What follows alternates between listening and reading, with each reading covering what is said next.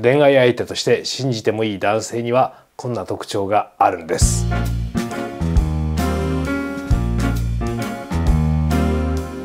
こんにちは小川健二です。このチャンネルでは人間の思考や行動の本質にフォーカスすることで恋愛や仕事などあなたの日常をより豊かにしていくためのアイデアやヒントを紹介しています。動画はほぼ毎日更新しています。最新の動画を見逃さないためにもチャンネル登録をよろしくお願いします。また僕への個別具体的なご質問ご相談については僕の個別セッションまでお越しください。あなたが関わっている。そしてあなたがこれから関係を深めていこうとしている、えそんな男性が果たして信用に値するのかどうか、え男性が信用できる人なのかどうか。恋愛の相手として、え、その特徴はということで今日は代表的なものを7つご紹介をしていこうと思います、え、彼がねどんな人間であるかそれはちょっと横に置いといて。あなた自身があなた自身の心をぶれないようにするにはどうすればいいのか。あなた自身の自分軸をどう整えればいいのか。そんな話はねこちらの詳し、え、セミナーで詳しくご紹介をしています。こちらに画像が出ていまして日程場所は下の概要欄説明欄にリンク出ています、え、こちらにも同様のリンク出ていますからあなた自身の心の問題についてはねこちらのセミナーにお越しいただければいいんだが、まあ、今日はあなたが関わっている男性、え、そしてこれから関係を深めていこうとする男性が果たしてどうなんだこの人お付き合いしてもいいんかな、えー、まあ仕事がねどうであるかとかまあ、社会的な立場がどうであるかとかね、まあ、見た目がどうであるかっていうのは、まあ、見れば分かる問題についてはそれはあなたが別にね、好きか嫌いかとか条件に合うかどうかで決めればいいし、まあ、明らかにこの人もう怪しさ満点だよねというね、まあ、僕みたいな人とかだったらさあもうこれ怪しい人だっていうことでスルーしときゃいいんだけど、まあ、そうじゃない。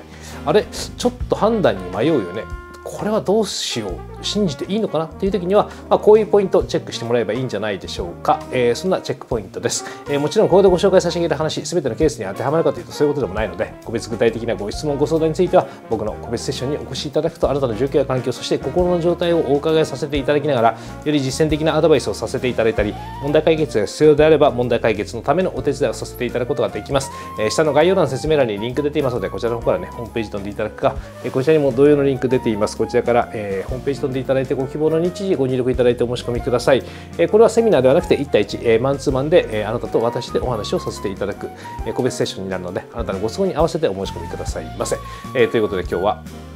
恋愛パートナーとして信用できる男の特徴ということで代表的なものを7つご紹介をしていこうと思います。そのうちの1つ目はこちらです。はい。あなたを傷つけない配慮とそして修正力があるかないかなんです。まあ当たり前ですけど自分が大切に思う人傷つけようと思う人はいないですよね、え傷つけないように配慮するんです。言葉も選ぶし、えー、まあ、気も使う、えー、あなたを傷つけてしまうようなことをする人。そんな配慮を一切しないであなたが泣こうがねあなたが苦しもう苦しもうが知ったこっちゃないよと。いう人はさあなたのことをいくら口では愛してるとか言ったってそんな全然愛していないから、えー、全くねそんな相手にしなくていいし、まあ、そんなことはねあなたも分かってると思うんです、えー、しかしながら、まあ、彼もね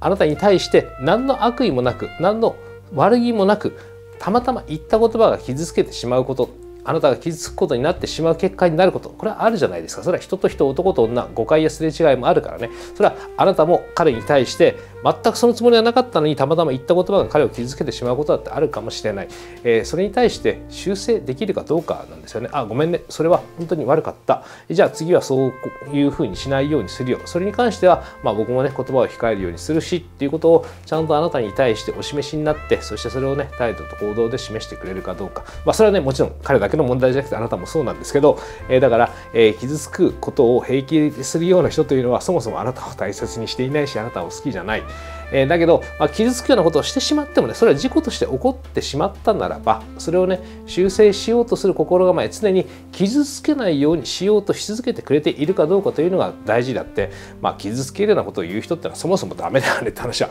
前にこういう動画の中でもねご紹介差し上げましてね。これ過去動画ねこちらに画像が出ていまして、えー、こちらにリンク出てます、えーと、関連する動画を他にもいくつかご紹介差し上げているのでチャンネルご登録いただいて合わせてご覧になっていただければいいんだが、えー、あなたをね傷つけない配慮をやっぱり日頃からしてくれていてなおかつまあ、傷つけるようなことが起こってしまうのはこれはしょうがない。だけどもそれをねちゃんと修正しようとする修正力があるかどうか、まあ、それがあればね、まあ、一緒にやっていきながらそんなにねお互い苦しむようなこととかストレスに感じるようなこともなく、まあ、穏やかにお付き合いすることができるから、まあ、その部分に関しては信じてあ、えー、げてもいいのではないでしょうか。さあそして2番目はこちらです。はい。人によってね態度を変えないことですよね。まあ、これも当たり前といえば当たり前なんですが、えー利害関係がねある相手に対してはすごく誠実でねすごく真面目に、え接することができる。しかし利害関係がねないような人に対しては、まあ、めちゃくちゃな対応をするというかね、まあ、不誠実な対応をすると。あなたにはね確かに優しくてあなたに対して細やかな気遣いをしてくれるかもしれない傷つけないようなことをしてくれるかもしれない。しかしこっちではね例えばまあ本当に利害関係がないというか、まあ、本当に自分にとって、えー、まあちょっとね立場が弱いような人、まあ、どっかの居酒屋の店員さんとかさコンビニの店員さんとか、えー、そういう人に対してはすっごく上から目線で暴力的だったり暴言を吐くような人だったりとかこれ最悪じゃないですか。じゃあなんであなたに対して優しくてあなたに対して傷つけないようにしてくれるのかというとそれは今あなたの気持ちをこっちに向けたいと思っているからそこは演技でそうしているだけの話であってじゃあ実際にあなたがね彼とお付き合いを始めました、えー、完全にあなたの気持ちが彼の方を向いたらどうなるかっていうともう完全にそうする必要がないわけだから、えー、まあ上から目線でね今度は彼があなたに対してまた、え、他の人にするように野蛮な対応というか、まあ、あなたを傷つけるようなことを平然とねするようになってしまうことがある、まあ、だから、えー、本当にこの人私に対して今後もね優しくしてくれるんかなとか傷つけない配慮をずっとしてくれるんかなっていうことを考えるんだったら他の人に対しての接し方、えー、これをね、えー、見てあげていただいて、えー、なんか私に対して優しいけど他の人に対して全然優しくないよねっていうような人だったら、まあ、ちょっと考えた方がいいかもしれないですよ。でそして、まあ、誰に対しても分け隔てなくね、まあ、気を使えるというか、まあ、本当に誰に対しても分け隔てなく、まあ、同じような接し方をするような人だったら、まあ、それがね裏表なくそのまんまの人だから、えー、まあその人とだったらまあ信じてあげてもいいのかなと思います。さあそして3番目はこちらです。はいえ第三者がね認めてくれる人ですよね。え第三者っていうのは、まあ、あなたのご家族でもえー、お友達でもね、まあ、誰でもいいんですけど、まあ、職場の上司でもねああの人だったら大丈夫だよねっていうふうに思ってくれるかどうか、えー、どうしてもねこう好きになってしまったりしているとまた距離が近くなってしまったりすると好きだからというキーワードをね免罪符にちょっとあかんところとかちょっとダメだよねって思うようなところを見て見ぬふりをしてしまうことってね結構あったりするじゃないですか。しかもまあ見た目上ね条件が良かったりするとどうしてもやっぱり彼がいいよねっていうふうに自分で自分を説得してしまいがちになってしまう。だから本当に肝心なところってね見落としてしまいがちなんですよね、えしかしながらそこはさやっぱり第三者目線を入れてもらうといやこの人ちょっと危ないよねいやこの人ちょっとやめた方がいいんじゃないかな。え大体そういう時の他人の意見ってね正しかったりするんですよね、まあ、わざわざさあなたを不幸にするためにあなたとね彼の仲を引き裂くためにそこでわざわざネガティブなことを言うような人ってあんまりいないじゃないですか、まあ、もちろんね誰か相談する人がその彼を狙ってるとかだったらまた話は違うんでしょうけど、まあ、そういう特殊な事情でもない限りは大体あなたの側に立って彼が果たしていいのかどうかってちょっと見てくれたりもするから、まあ、そういう意味ではね、えー、ちょっとこう客観的な視点を入れてみてあまあいいんじゃないの彼だったらというふうにまあ思ってくれる、まあ、そういう仲間がいなければあなた自身が自分の友達だったとしたりまたね自分の親だったりした時に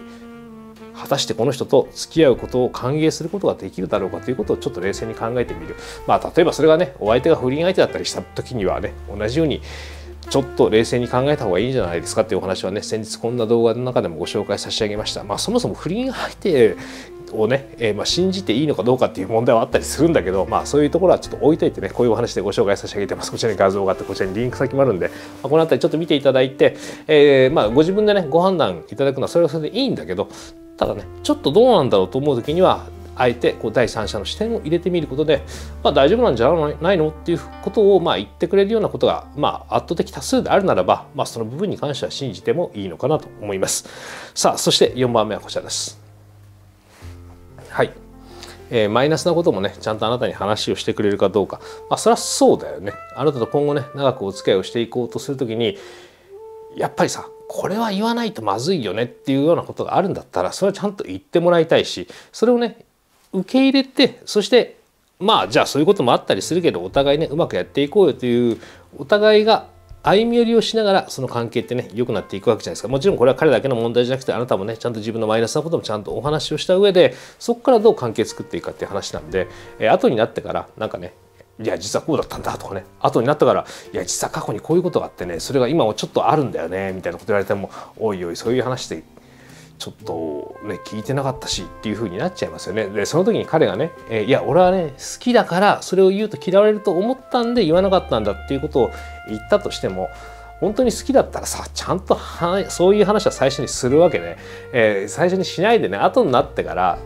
それをね出してきて好きだから言えなかったみたいなことを言う人っていうのはまあ後になってもね何かあるたんびに、えー、君に嫌われたくないからだっていうことで隠し事をするような人だから、まあ、あんまりね信じない方がいいんじゃないですか。だからもちろんねそのマイナスな内容があなたにとって受け入れがたいことだとしたとしてもそれをあなたに対してあえて話をしてくれるということはそれだけねあなたとの関係を誠実に考えている真面目に考えている、えー、それこそねまあ本当に長く一緒にいたいなと思ってるから言ってくれてるんだというふうに、まあ、思ってあげてもいいいいのかなとだからまあその受け入れがたいがどれぐらいのレベルかにもよりますけどただそのね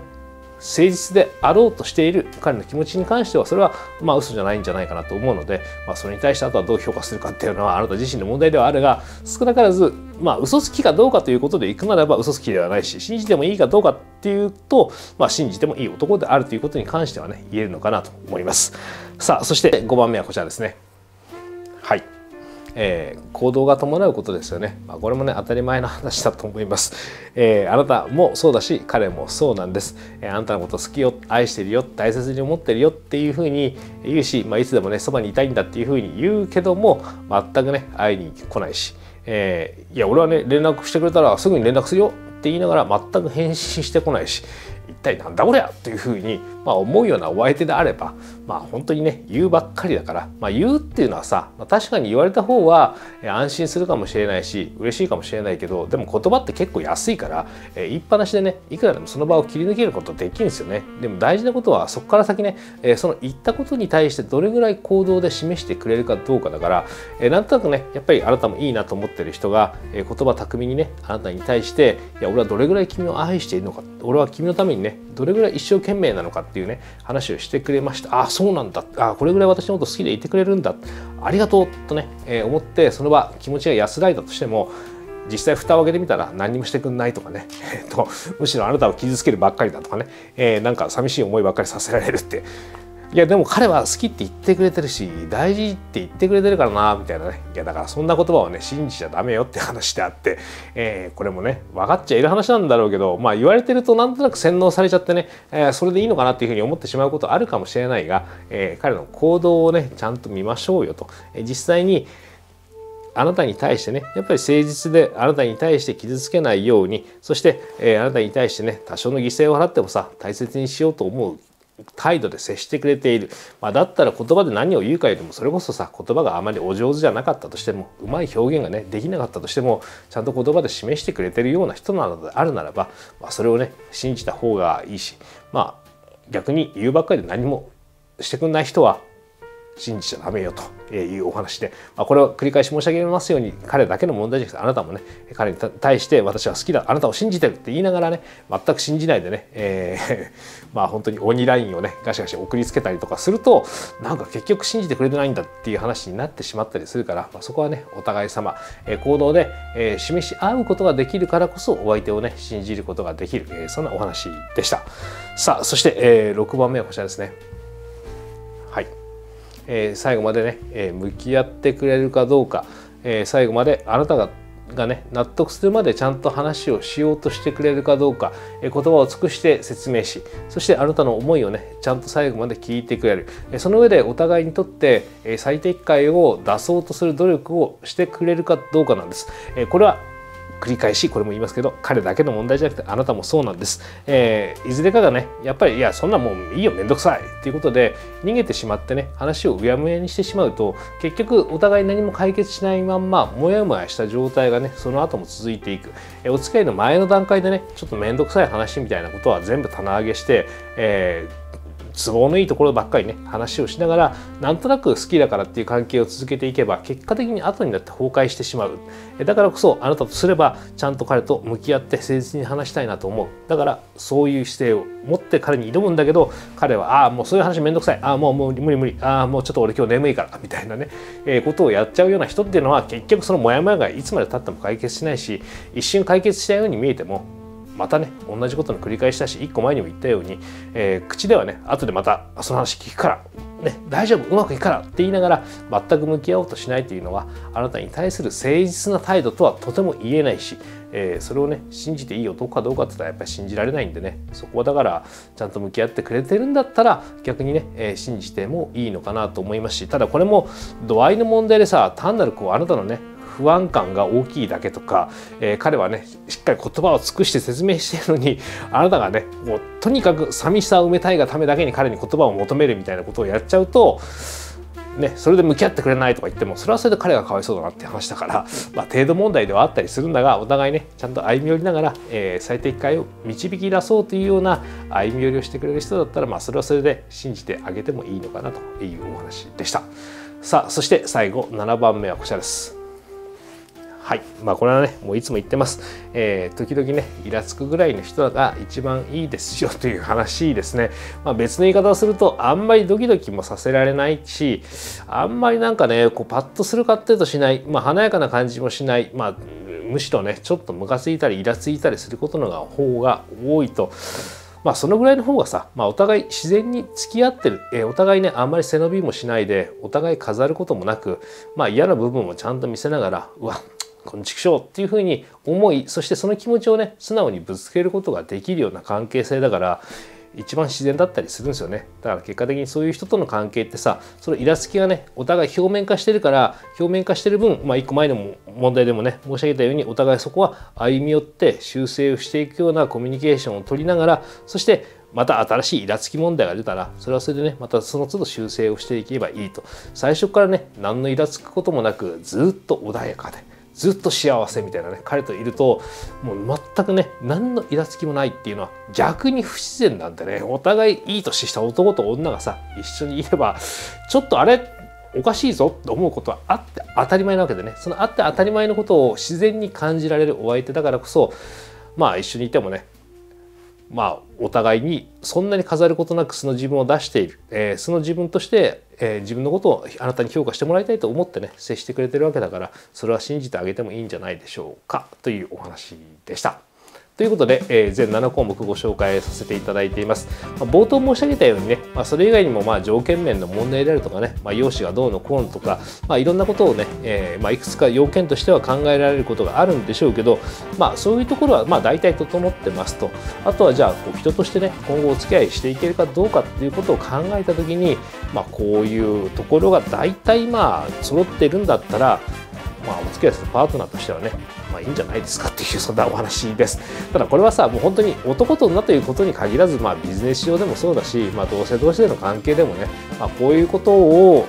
まあ、ちゃんとねこう気を使ってくれて接してくれる。そしてあなた自身もこういうことを意識しながら、えー、お相手と接することができると、まあ、結果的にねその関係っていうのは恋愛関係になるのかそれ以外の関係になるのかまた別にしてもえー、まあ、良好な関係をね長続きさせていくことができたりするわけで、えー、そういう関係を作っていけるという意味での信じられるお相手というふうに考えていただけると思うので参考にしていただけるのであれば参考にしてみてください。現場からは以上です